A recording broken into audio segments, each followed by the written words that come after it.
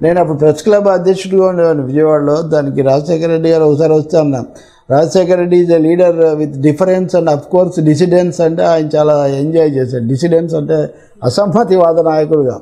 రాజశేఖర రెడ్డిలో ఉన్న ప్రత్యేకత ఏంటంటే ఆయన కాంగ్రెస్లో ఉండి అసమ్మతివాదిగా ఉన్నా కానీ పార్టీని ఏదో విచ్ఛిన్నం చేసి ప్రభుత్వాన్ని పడగొట్టేట్లాంటి పేరు ఆయన తెచ్చుకోలేదు. మరోవైపు యువతకు ప్రతినిధిగా వచ్చాడు. ఆ- ఆ ప్రెస్ మీట్లో కూడా ఎన్ని ప్రశ్నలు వేసినా ఆయన యువత అది ఇది అంటూ తనకంటూ ఒక ఒక పార్టీలో ఉంటూనే తనకంటూ ఒక పునాది తనకంటూ ఒక అనుచర గణం ఒకటి ఏర్పాటు చేసుకున్నాడు. ఇంకా చాలా కీలకమైనది ఏంటంటే ఆయన ఇవన్నీ చేసిన తర్వాత తొంభై తొమ్మిది ఎన్నికల్లోనే హోరాహోరీ. ఇప్పుడు ఇంత లోపల చంద్రబాబు నాయుడు ఎన్టీఆర్ను పడగొట్టి ఆయన ముఖ్యమంత్రి అయ్యాడు. సో వీళ్ళిద్దరికి పోటీ తొంభై తొమ్మిది ఎన్నికల్లో. అసెంబ్లీకి వచ్చాడు. అంతకుముందు లోక్సభకి వెళ్ళిన వాడు ఇప్పుడు అసెంబ్లీకి వచ్చాడు. ఆ ఎన్నికల్లో ఓడిపోయినా వంద సీట్లు వచ్చాయి రాజశేఖర రెడ్డికి. సో చాలా శాసనసభ అనేది ముఖ్యమంత్రి చంద్రబాబు అయినప్పటికీ రాజశేఖర రెడ్డి ఏం తక్కువ కాదు. వంద మంది సభ్యులతో అది ఇప్పటికి కూడా మిమిక్రీ చేసేవాళ్ళు. అప్పటి వరకు ఎన్టీఆర్ను ఏఎన్ఆర్ను మాత్రం మిమిక్రీ చేసేవాళ్ళు. అది మానేసి రాజశేఖర రెడ్డి లాగా చంద్రబాబు లాగా అధ్యక్ష ఆయన ఎలా అంటాడు? చంద్రబాబు నాయుడు దానికి ఎలా జవాబు చెప్తాడు? ఒక ముద్ర పడిపోయింది. అలా తొంభై తొమ్మిది నుంచి రెండు వేల నాలుగు వరకు. ఈ మధ్యలో విద్యుత్ శక్తి ఉద్యమంలో నిరాహారదీక్ష చేశాడు రాజశేఖర రెడ్డి కమ్యూనిస్టులతో కలిసి. అసలు కాంగ్రెస్ నాయకుడు నిరాహారదీక్ష చేయడము ఉద్యమాల్లో పాల్గొనడం అదే ప్రథమం. వాళ్ళు ఎప్పుడో మానేశారు అవన్నీ. సో ఆయన పార్టీని కొంచెం బలోపేతం చేసి సంఘటితం చేసి తనకంటూ పట్టు సంపాదించి ఆయన ప్రజా ప్రస్థానంతో ఆయన ఒక దశకు చేరుకున్నాడు. ఇక ప్రజా నాయకుడిగా బాగా ఎస్టాబ్లిష్ అయ్యాడు.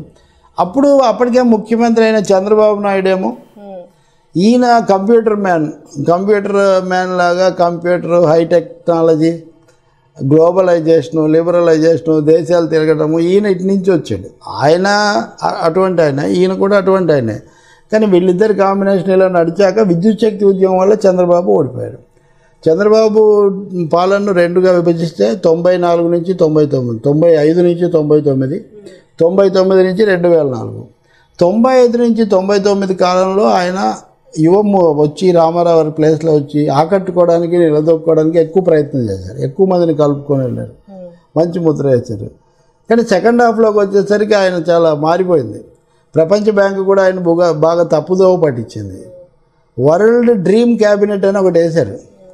స్వప్న మంత్రి దాంట్లో చంద్రబాబు సభ్యుడు స్వప్న మంత్రి వర్గంలో. అంటే ఆయన ఎక్కడికో తీసిపోయారు. వీటన్నిటితో ఆయన ఎన్నికల్లో ఓడిపోయారు. వైఎస్ఆర్ పాపులర్ మ్యాండేట్తో వచ్చాడు. అంటే కాంగ్రెస్ పార్టీ అంటే ఇందిరాగాంధీ లేదా సోనియా గాంధీ ఏం చెప్తే వాళ్ళు అవుతారన్న స్థితి నుంచి కాంగ్రెస్ పార్టీలో సొంత పునాది కలిగిన ఒక ముఖ్యమంత్రిగా రావడం అనేది చాలా ప్రత్యేకత. ఆ వచ్చాక ఆరోగ్యశ్రీలు ఈ పథకాలన్నీ రాజశేఖర రెడ్డికి చాలా మంచి పేరు తీసుకొచ్చాయి ఇప్పుడు ప్రతిపక్ష నాయకుడు చంద్రబాబు నాయుడు. కాబట్టి ప్రజలు ఇది స్కే యాక్ట్ వన్ అది యాక్ట్ టూ ఇది అన్నట్టుగా చూశారు. Most enjoyable and very interesting అయితే అప్పుడే రాజకీయాల్లో విలువలు తగ్గిపోవడం ధన రాజకీయాలు లిబరలైజేషన్ అప్పుడే సరళీకరణ వచ్చింది. సో భూముల విలువలు చంద్రబాబు కొంచెం పెంచితే రాజశేఖర రెడ్డి ఇంకా పెంచాడు. ఆయా వాళ్ళు కొంత సెడ్జులు పెడితే ఈయన ఇంకో నాలుగు పెట్టాడు. విధానాల్లో పెద్ద మార్పు ఏం లేదు.